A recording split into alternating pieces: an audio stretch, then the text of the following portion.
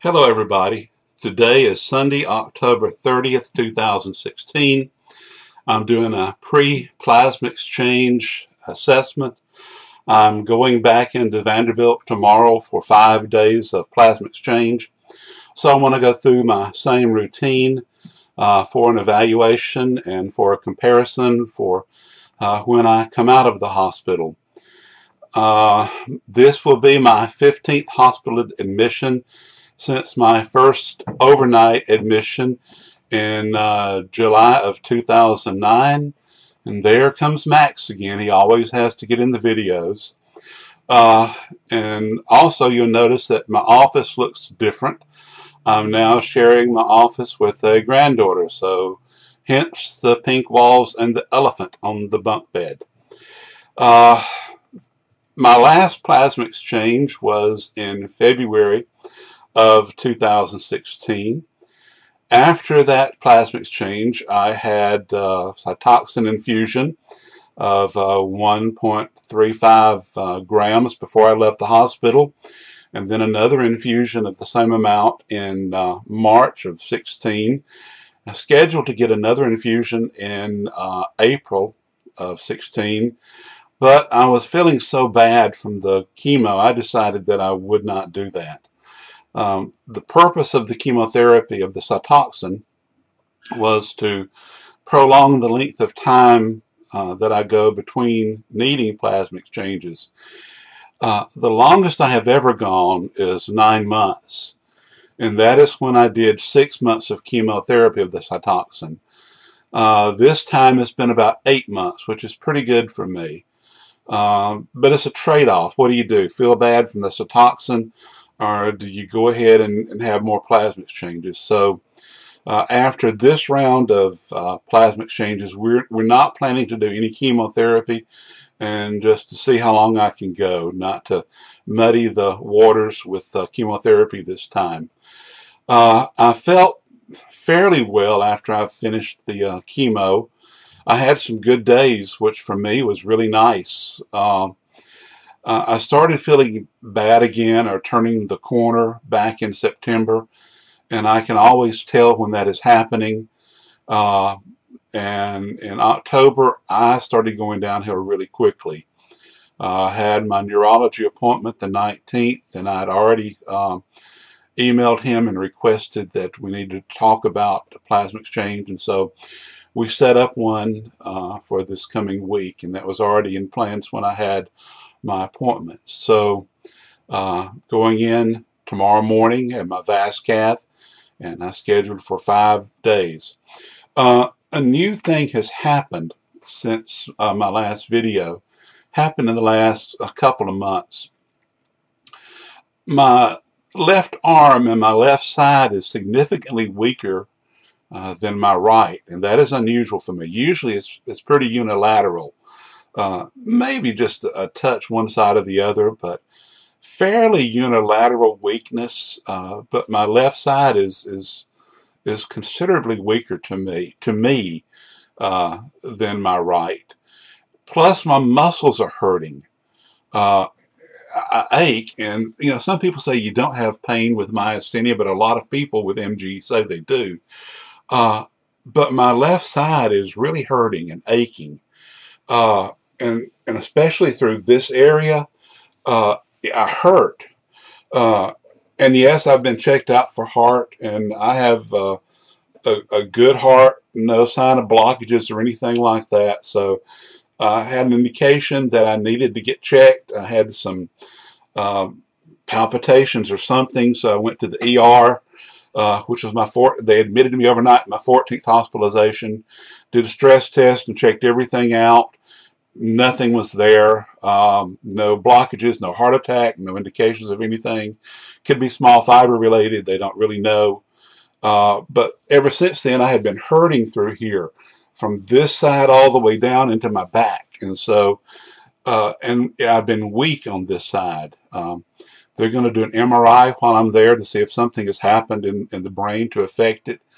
Uh, and I hurt on my ankles, and this this arm hurts too occasionally. Not as bad as the left. Uh, so that's a new development that they're going to check out while I'm in Vanderbilt.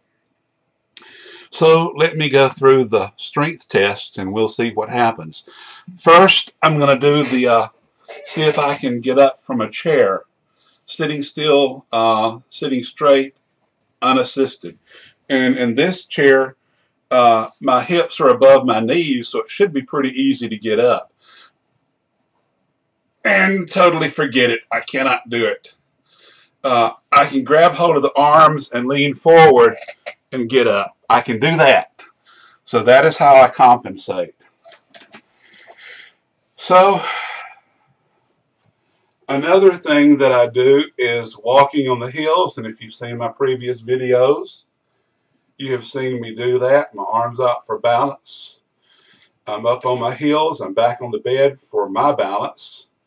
Let's see if I can walk on my heels. I cannot take one step uh,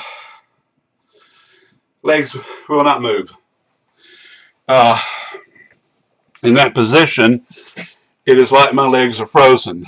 I can walk flat-footed, but when I raise my feet up on my heels, it's like it cuts off my muscles and they just, I don't have the strength to move my legs forward. Here again is the same box of pennies I have been using since the beginning of this. It weighs 17 pounds. And you may think, again, well, that's a lot of weight for him to do curling with. But I'm 6'2", 324 pounds. Uh, should not be a problem for somebody my size. So let's see if I can curl them and how many times with my right hand. One, two, three, four, five, six, seven is getting hard, eight. That's it. My arm absolutely will not move. It's like the muscle just stops. I'm swapping them over to my left hand and I cannot budge it. I cannot even move it, period to get it out of my lap or get it to the desk or anywhere. So I'm going to stop, use my right hand and left hand to put it back on the desk.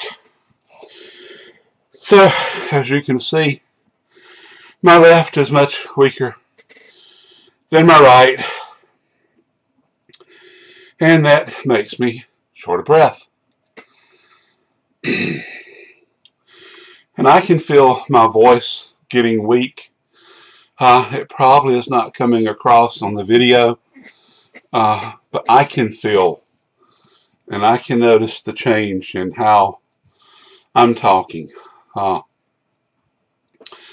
so let me do the single count breath tests and see how that does as my uh, last summary test.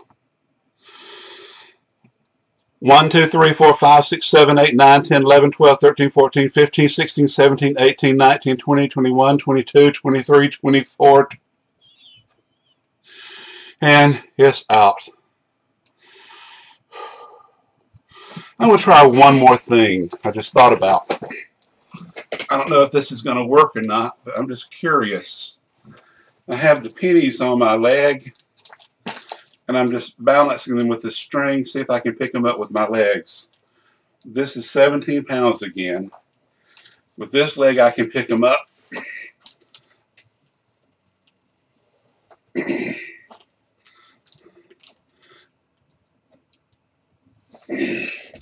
I can